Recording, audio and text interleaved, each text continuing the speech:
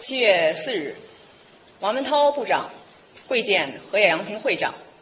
率领的日本国际贸易促进协会访华团一行，双方就中国改革开放政策、中日经贸关系、新兴领域合作、产业链供应链稳定等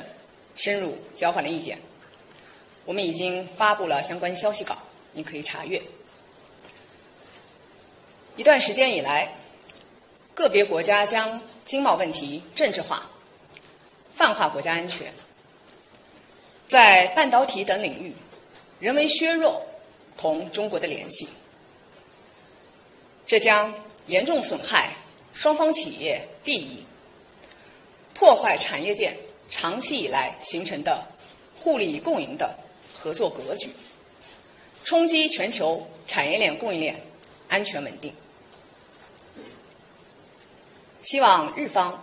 从维护自身利益和中日经贸合作大局出发，信守自由贸易和市场经济承诺，遵守国际经贸规则，避免对两国经贸合作进行政治干扰，